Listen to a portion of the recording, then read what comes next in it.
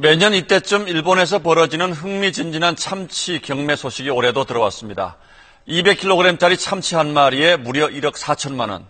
이 어마어마한 참치 값에는 여러 가지 의미가 담겨 있습니다. 도쿄 최선호 특파원이 설명하겠습니다. 도쿄의 부엌으로 불리는 세계 최대어 시장, 스키지 시장입니다. 새벽 5시, 올해 첫 참치 경매가 열렸습니다. 아오모리산 참다라무 200kg짜리 한 마리가 최고가인 1,400만엔, 우리 돈 1억 4천만 원에 낙찰됐습니다. 아브라노노니 아직 사이퍼스 여기는 가다죠, 밑에 가다죠. 최고가 낙찰된 참다랑어입니다.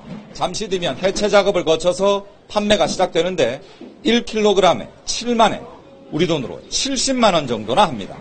몇 해 전 천정부지로 뛰었던 낙찰가는 일본계와 중국계 스시 체인의 경쟁이 수그러들면서 30분의 1 수준까지 떨어졌는데 올해 갑자기 3배 넘게 급등했습니다. 오는 11월 스키지 시장이 다른 곳으로 이전할 예정이라 올해가 마지막 신년 경매라는 점이 감안된 것으로 보입니다.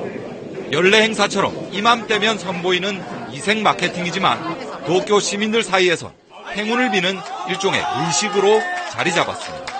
お祝儀相場でいい値段がついても、あ高くても食べたいと。これを食べると一年いいことがあるんじゃないかと。